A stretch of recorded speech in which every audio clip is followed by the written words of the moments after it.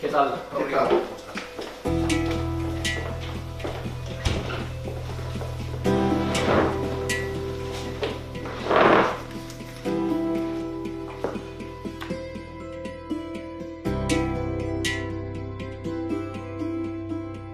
La constructora brasileña Obedrec pagó 788 millones en coimas, en comisiones ilegales, según el acuerdo que ha firmado con Estados Unidos, con Brasil y con Suiza.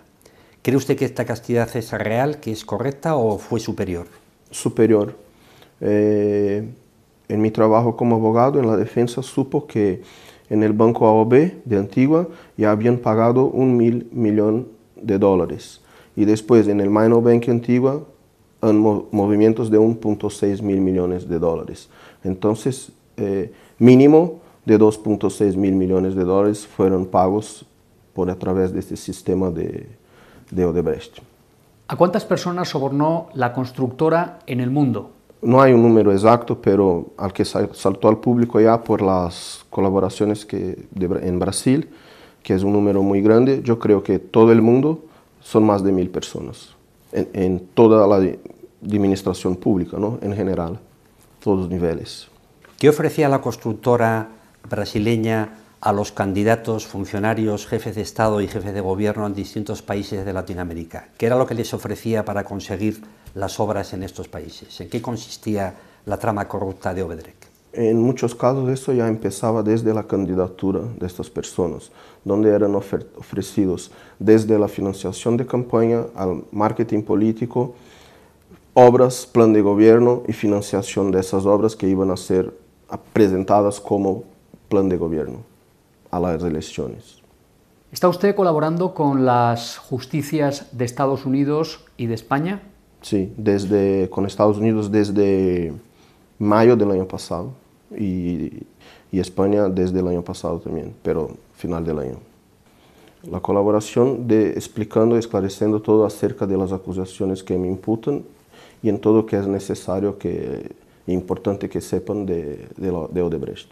Yo tuve conocimiento de todo lo que fue, de lo que, muchas cosas de que pasó con la empresa por cuenta de mi trabajo como abogado ya en la defensa de Odebrecht, reuniendo informaciones para la defensa. ¿Qué papel jugó en toda la estructura offshore de Odebrecht, el Banco de Antigua, la banca privada de Andorra y su filial en España, Banco Madrid? El Minor Bank Antigua era como una central, un hub. Todo pasaba primero, entraba o salía por Minor Bank Antigua. Entonces él tendría un papel central. Después, BPA, como otros bancos, tenía un papel ya secundario para hacer el, terminar los pagos a las personas. Pero el central siempre fue Antigua. ¿Tiene usted miedo a ser extraditado a Brasil? ¿Ha recibido amenazas usted o su familia durante su estancia en Estados Unidos o durante su estancia en España? ¿Hay temor por parte de altos funcionarios o gobernantes en Latinoamérica a lo que usted pueda contar o decir sobre la trama corrupta de Obedrec? Sí, he recibido amenazas desde que llegué a Estados Unidos y en España también, no solo yo, pero mi madre, mi familia. Eso ya fue, yo ya he hecho una denuncia aquí en España y comuniqué a las autoridades americanas cuando estaba en Estados Unidos.